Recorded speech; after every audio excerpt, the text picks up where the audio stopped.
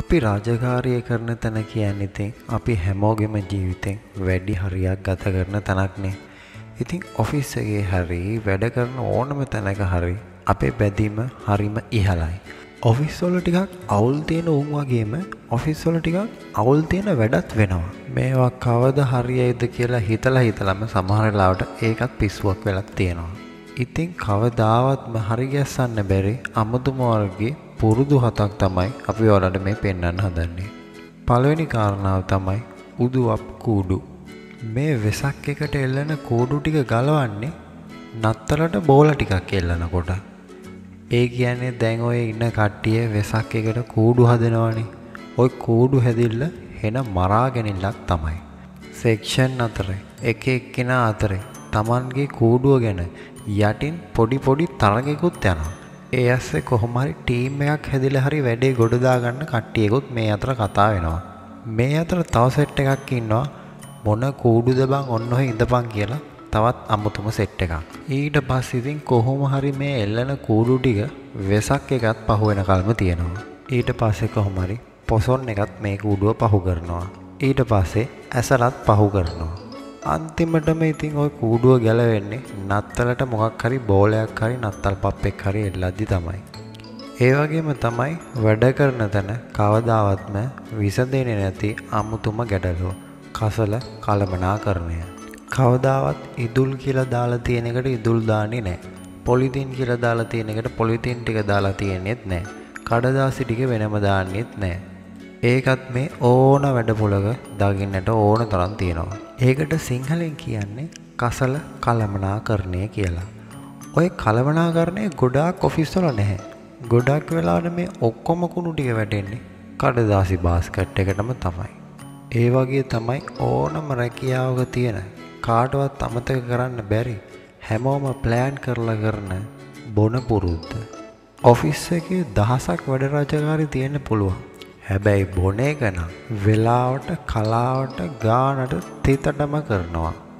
හිත අවුල්ුණාට පස්සේ ඔෆිස් එකේ තමුන් ගැන කටකතා ගියාම ලොක්කා තමුන්ට වල ගැබුවාම වගේ හේතු සිද්ධ වුණාම කට්ටිය ඍජු තීරණයකට එනවා.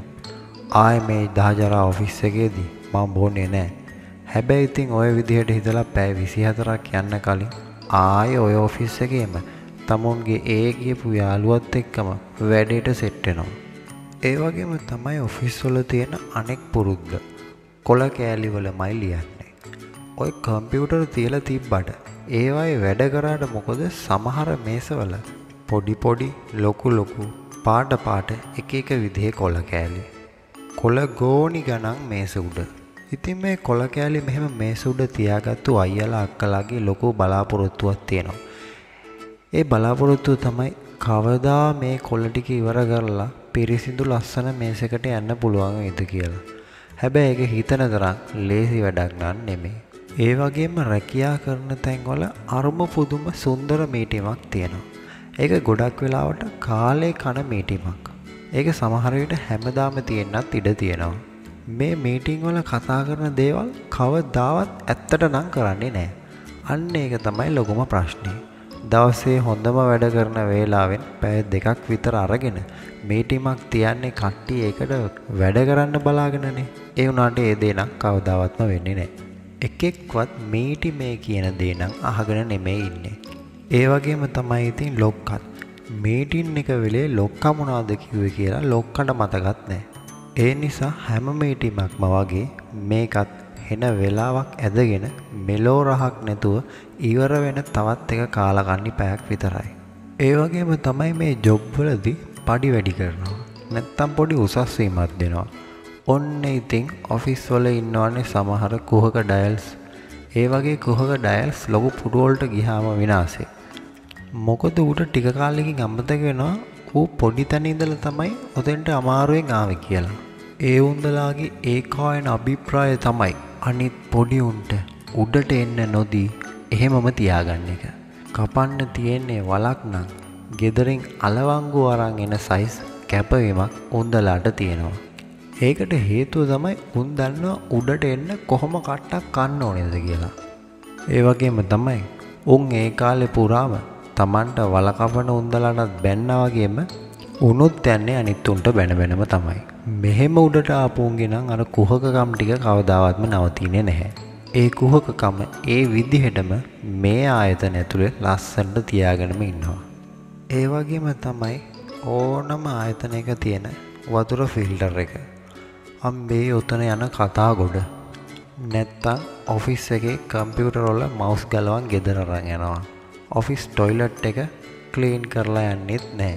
ඉතින් මේ වතුර ෆිල්ටර් එක මාරු කරන්නේ නැති වෙනම සෙට් එකකුත් ඕනම වැඩ කරන තැනක ඉන්නවා. මේ ෆිල්ටර් එක වතුර බෝතලයක් සාමාන්‍යයෙන් තියෙන්නේ පැයයි. නැත්තම් විනාඩි 45යි. තිබා ඇදුනේ ගාම ඕන මිනිසෙක් මෙතෙන්ට තමයි දුවගෙන එන්නේ. ඉතින් නිකමට හරි මේ වතුර බෝතලයක් හිස්සලා තිබ්බොත් එහෙම හදිසි එතනට එන ෆිල්ටරේ උස්ස ගන්න අමාරු ගෑනු කෙනෙක්ට වුණත් බොන්න පුළුවන්නේ කියලා හිතන්න පිරිමි කෙනෙක් නෑ. හැබැයි කොහෙට හරි වෙලා හැංගිලා කෝප්පයක් තියාගෙන මේ වතුර එක පුරෝණකල් බලාගෙන අහසට විසිල් ගගහ ඉන්න පිරිමි ඕන තරම් ඔෆිස් වල දකින්නට පුළුවන්. අත්දැකීමක් එහෙම තියෙනවා නම් ඔන්න තියෙනවා පල්හැ කමෙන්ට් කරන්න බොක්ස් එකක්. දෙන්න බලන්න ඔයාලගේ අදහස. ඒ වගේම අපිව සබස්ක්‍රයිබ් කරන්න අමතක කරන්න එපා.